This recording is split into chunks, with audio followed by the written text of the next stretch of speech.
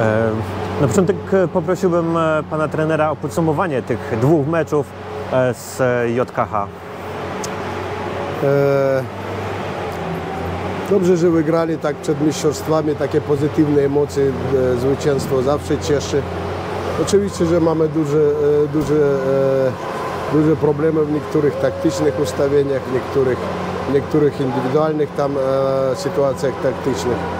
No ale w tym wieku chłopcy ja, ja nie sądzę, że wszyscy grają e, bez błędów.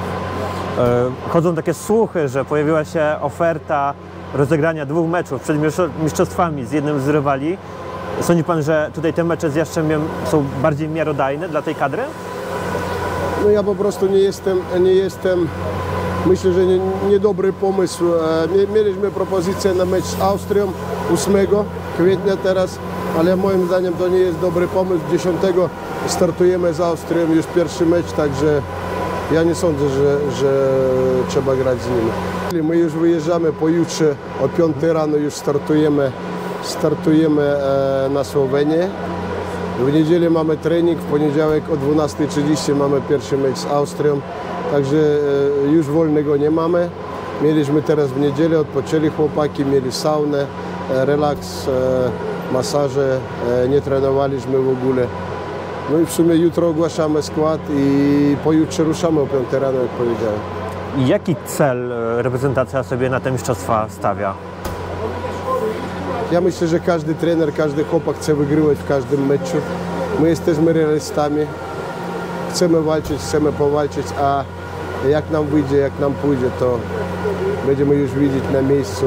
Powiem, że naprawdę ciężka, ciężka grupa, mamy naprawdę, naprawdę ciężką grupę. E, mamy większość zawodników młodych w reprezentacji, e, rok młodszych, niektórzy dwa lata młodszy. E, jedziemy grać w hokej. E, Wiadomo coś o tych rywalach, z którymi e, Polacy zagrają? Tak, mniej więcej wiemy, obserwowaliśmy mecz z Austrią, graliśmy z Estonią. E, na miejscu już zobaczymy, e, zobaczymy jak będą grali nasi przeciwnicy, to znaczy Słowenię, z którymi gramy e, drugi mecz. Graliśmy z Włochami w Budapeszcie, mniej więcej wiemy o co chodzi, także no ale, ale to wszystko byli mecze e, towarzyskie, sparingowe albo turnieje na Mistrzostwach Świata, każdy mecz będzie, będzie jak ostatni. Także ja bym chciał życzyć swoim chłopakom po prostu, po prostu charakteru, po prostu, po prostu takiego, tak, takiej złości sportowej, e, no i przede wszystkim głowy, głowy żeby, oni, żeby oni robili to, e, co myśmy e, pracowali na treningach przed, przed Mistrzostwami Świata. Czasu i tych meczów takich sparingowych było na tyle, żeby optymalnie przygotować się do tego turnieju? W sumie planowaliśmy 2-3 mecze. Niestety e, nie udało się, Ukraina nam odmówiła w ostatniej chwili, no a e, jak Państwo e, wiecie, że no, już wszyscy mają rozpisane, tam drużyny z czołówki mają rozpisane sparingi 2-3 lata przed mistrzostwami.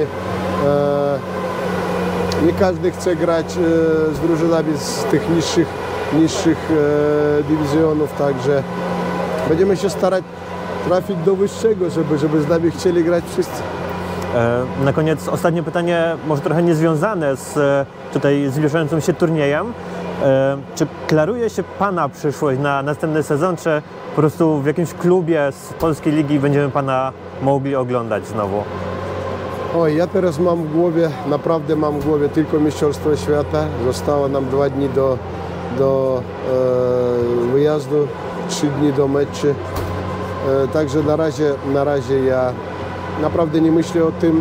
Na razie po prostu chcę, chcę popracować na tym naprawdę ciężkim turnieju. E, no później, jeżeli będą propozycje, to ja oczywiście, że będę, będę rozmawiał, będę myślał na ten temat. Oczywiście.